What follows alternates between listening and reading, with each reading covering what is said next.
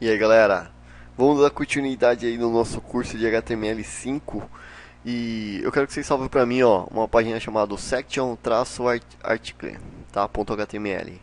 A gente vai estar trabalhando com section e article.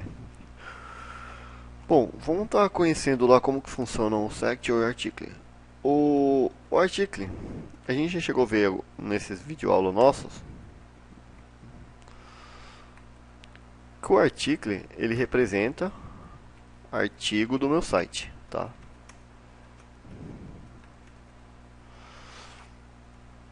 E o section ele representa opa, uma seção no meu site, tá?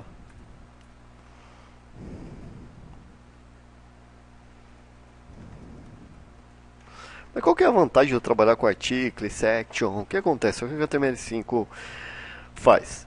Para começar, ó, se eu trabalhar aqui, ó, se eu utilizar H1 no article, eu posso estar tá utilizando, ó, H1 no section também, ó.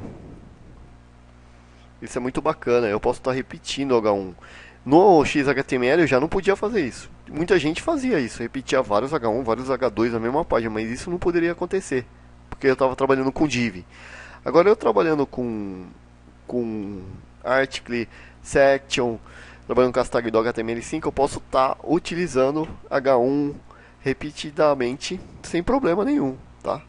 Repetido aí várias vezes aí em outra seção. Só que aqui dentro eu não poderia estar tá usando H1 novamente, tá? Só em outra seção mesmo, em, em outra tag. Bom, aqui, o, o article ele está sendo relacionado aqui para um artigo. O section é mais para separar uma, uma seção do, do site. Ele não, então, se eu tiver um conteúdo importante no meu site, eu tenho aqui, ó, eu estou querendo falar de ó, algum artigo especial do meu site aqui, ó. Eu vou estar tá utilizando o article, não o section, porque o section é uma seção. Mas para que eu, eu vou utilizar o, o section? Com, como que eu trabalho com, com section num, num projeto? Tem vários tipos. Eu, poderia estar utilizando dentro de um artigo o, o article mesmo. Agora, o section, eu ia trabalhar ele se eu fosse colocar uma imagem, independentemente, e aqui eu ia trabalhar com, com as tags de imagem que, do HTML5, que é o, o, o figure, tá? que a gente vai chegar a ver nas, nas outras aulas. Poderia estar tá, tá trabalhando com outras marcações de HTML5, fazer uma lista aqui, não teria problema nenhum na sessão. Então, o section é super bacana ele estar tá trabalhando. É legal estar tá trabalhando, poderia estar tá, tá colocando uma classe nele, tá? Uma classe no meu section. Aqui no, no article também poderia estar tá, tá criando uma, uma classe, tá?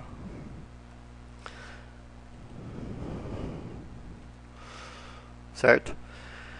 E eu também poderia estar trabalhando, ó, tá vendo?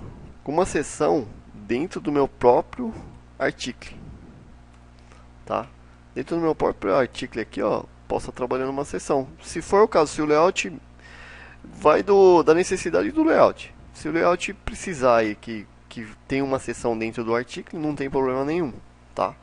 Ou se não, melhor ainda, eu poderia estar utilizando, eu tenho lá um section, e eu poderia estar utilizando o article dentro do meu section.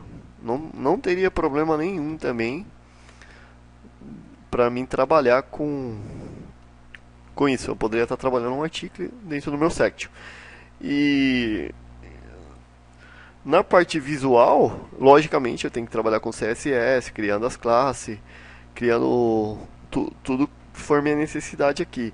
Mas na parte semântica vai ser muito muito o Google vai visualizar muito bacana, a parte semântica vai ser muito amigável, entendeu? Então sempre eu estou trabalhando é, de acordo com, a, com, as necessidades do meu site aí, pessoal. Até mais aí, vamos dar continuidade no próximo vídeo aula aí do nosso curso HTML5. Abraço!